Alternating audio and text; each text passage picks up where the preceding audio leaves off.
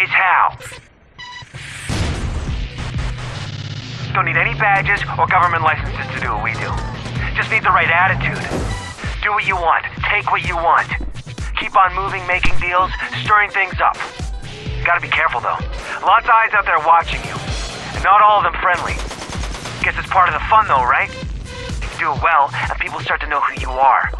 That's good. There's a lot of competition. You gotta stay with the action if you want to stand out from the crowd. Get enough attention, and you're king of the block. But that kind of status comes with a price. You want to survive, you gotta think about hooking up with some of the bigger crews. G-Kings, Blood Roses, they all got people out there. You find them and do favors for them, they do favors for you.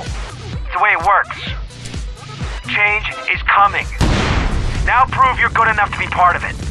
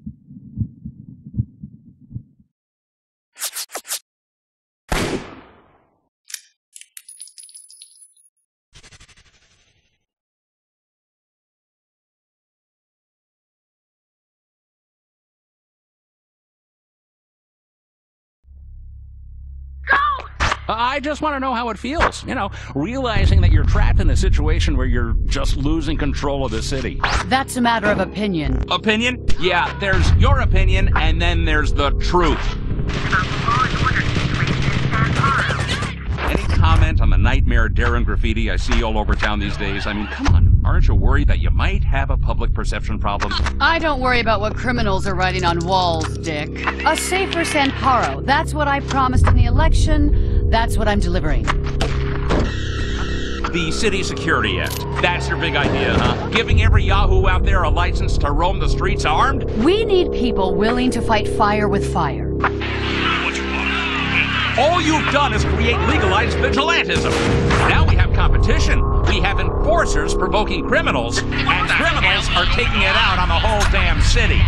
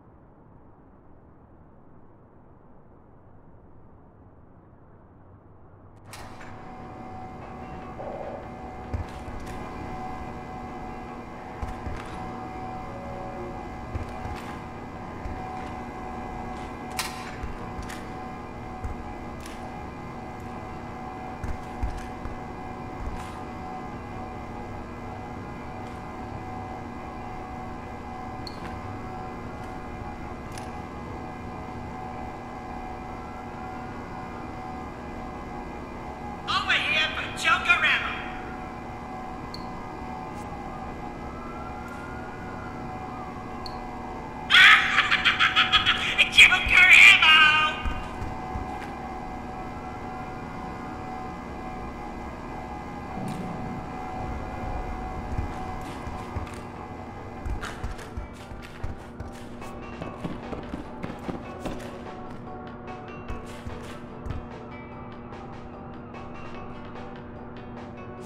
Hey, a-hole. See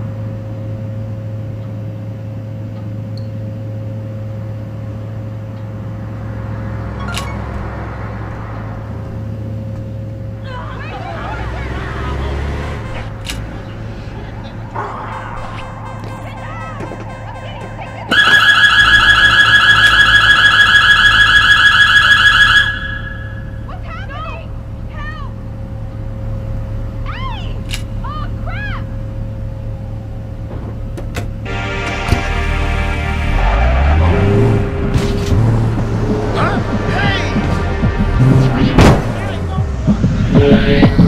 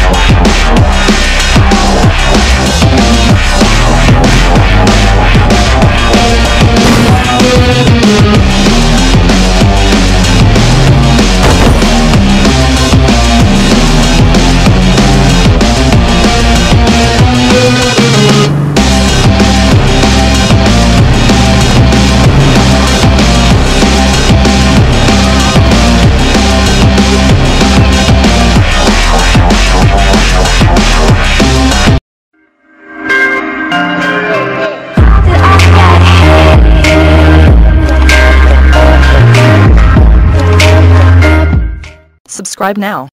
Do it. Yes, you. You right there.